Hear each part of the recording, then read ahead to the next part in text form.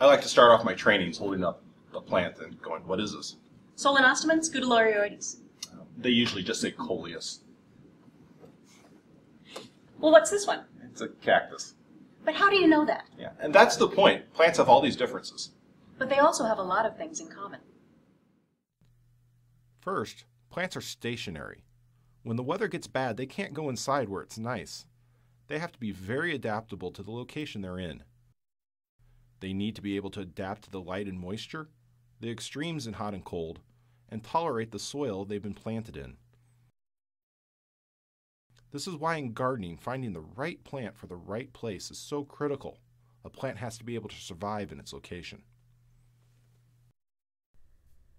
Plants absorb and store solar energy through the process of photosynthesis. This is a chemical reaction occurring in the tissues of the plant. Light energy is used to convert carbon dioxide and water into chemical energy, sugars. These sugars are used by the plant to grow, to battle insect pests or drought stress, and to produce flowers and seeds for reproduction. Extra sugars can be put into storage organs for later use by the plant or for animals to harvest and eat.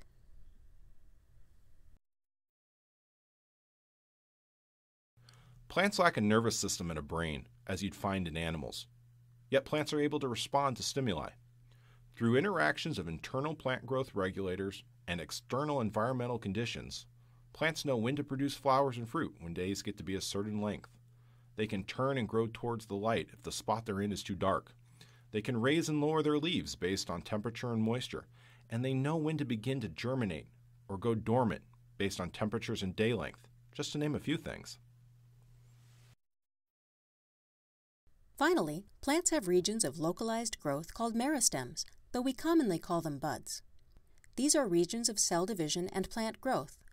There are buds you can easily see along the stem of this plant, the terminal bud at the tip, and the lateral buds along the sides.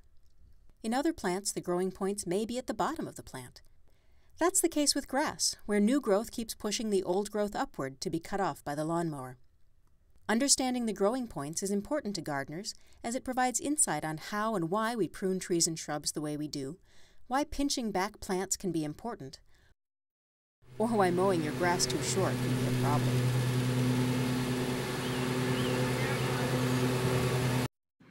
Remember, in biology, there's always exceptions to the rule. But understanding the similarities between plants will help you make the best decisions when taking care of your own garden.